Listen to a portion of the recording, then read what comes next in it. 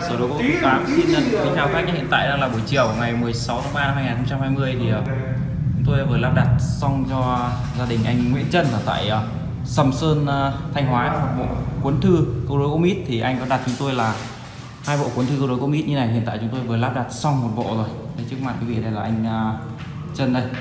Đó. Và đây bộ thứ nhất là một bộ nữa chúng tôi tiếp tục lắp đặt dưới nhà dưới đây là bộ quảng cáo luôn là Mita Vâng. Mita luôn chứ không phải Mít Nam Phi Ờ. Ờ. thì à, anh hôm nay em lắp đặt cho mình thì anh cho em xin cái cảm nhận về cái rồi nói này. chung là anh em rất chi là nhiệt tình Vâng. và đồ của của của xưởng của mình rất tốt nói Vâng, chung vâng. là đẹp đàng hoàng phải chuẩn Mita chứ không phải Vâng. là, là anh đã tham khảo kỹ rồi và anh à, quyết định là đặt cơ sở của tôi từ à, Phú Thọ về Thanh Hóa này đây gần 300 cây số quý vị nhá đây chính giữa bộ à, cuốn thư này được đục ba chữ Đức Lưu Quang. Còn hai bên câu đối là một bên là Tổ Tông Công Đức Thiên Liên Thịnh và một bên là Tử Hiếu Tôn Hiền Vạn Đại Vinh. À, quý vị có nhu cầu thì à, liên hệ sư sở lỗ dùng 8 nhé theo số điện thoại là 0987 5086 cơ sở tôi có địa chỉ tại xã Văn Phúc huyện Cẩm Khê tỉnh Phú Thọ.